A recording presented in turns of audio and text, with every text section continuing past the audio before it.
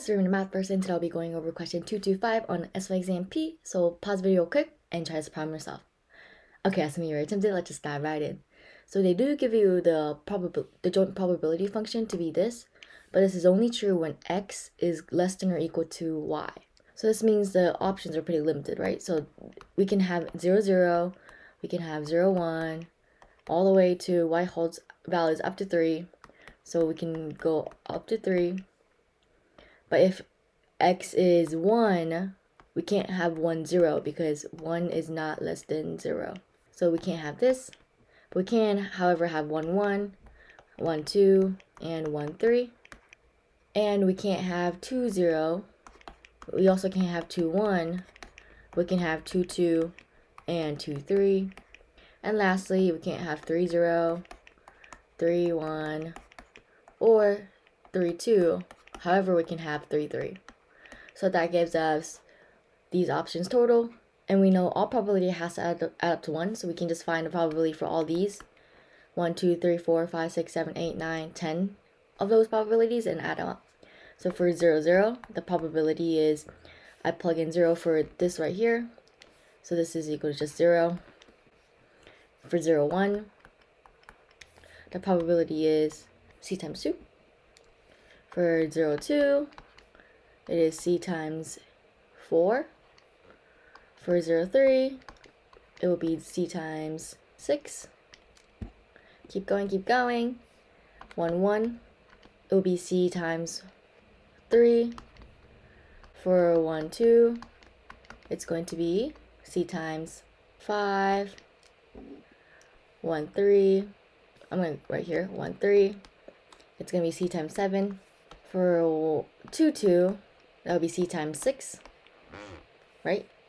For 2, 3, when I plug it in there, that is c times 8.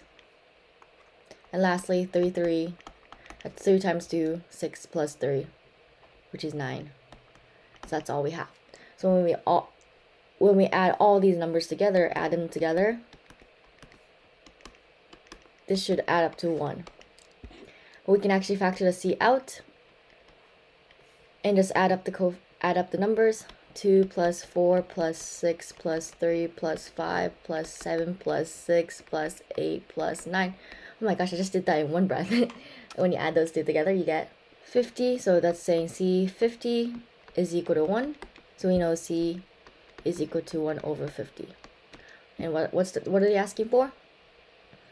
And we're asking for Calculate the expected number of tornadoes that results in fewer than 80, 50 million losses.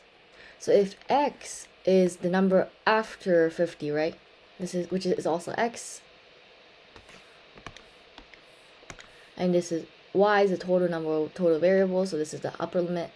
So if they're asking for this part right here, 50 million, which is this part, less than 50 million, we can actually do y, which is this total thing, minus the over 50 million, this part, and we'll get our box that we're looking for. This is So this is technically find expected value of y minus x.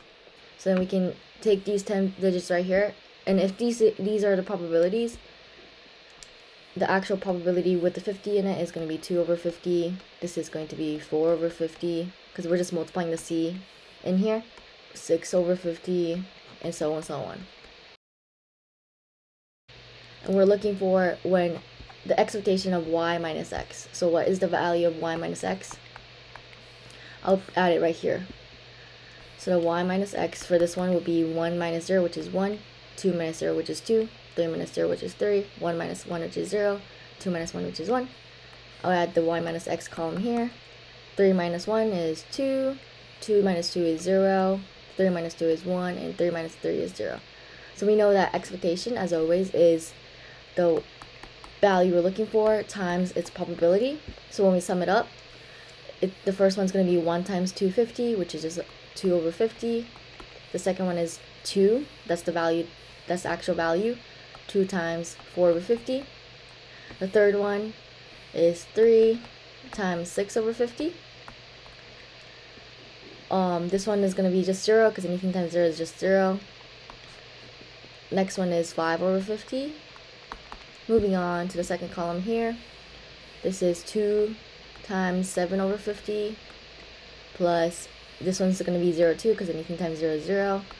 8 over 50 here. And the last one is also 0. So when we add that up, what do we get? I can actually factor out the 50 again and then just add up 2 plus 8 plus 18 plus 5 plus 14 plus 8. So that's going to be equal to 55 over 50, which is equal to 1.1, which is our answer E. Thank you guys so much for watching this video. If you guys have any questions, feel free to leave them down below. Otherwise, as always, make sure you like, subscribe, and share. Bye!